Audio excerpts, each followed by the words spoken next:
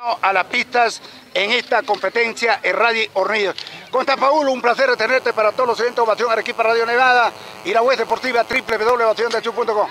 Hola, hola Luchito, ¿cómo estás? Un saludo a todos los amigos de Ovación.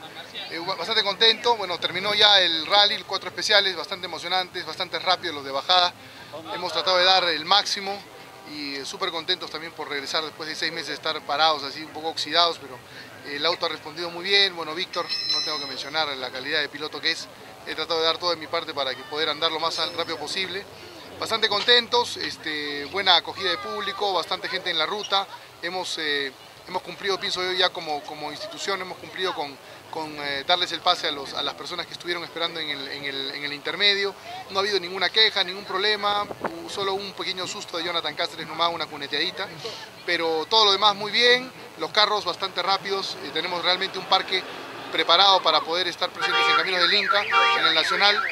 Y nada, les agradezco mucho, muchas gracias a ustedes por estar, estar acá presentes y nos vemos el 27 y 28 en el Nacional, una fecha importantísima, 52 años del Premio Ciudad de Arequipa y creo que va a ser una, una ocasión como para romper pues ese hielo de, de, de, máximos carros que hemos tenido en el 2015, que tuvimos 20, ahora estoy seguro que vamos a recibir entre 40 y 50.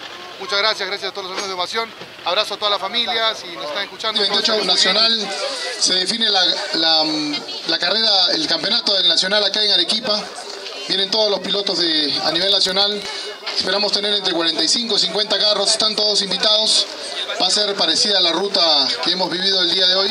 Muchas gracias por venir, gracias a Luis Quiroz, a la familia Quiroz por el, amable recibimiento acá en su local.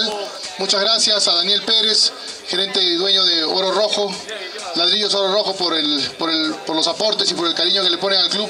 Felicidades a todos los que han ganado, un aplauso grande para ellos y nos vemos en agosto. Nuevamente reiteramos entonces el agradecimiento a todas las empresas que han hecho posible la buena realización de este acontecimiento deportivo.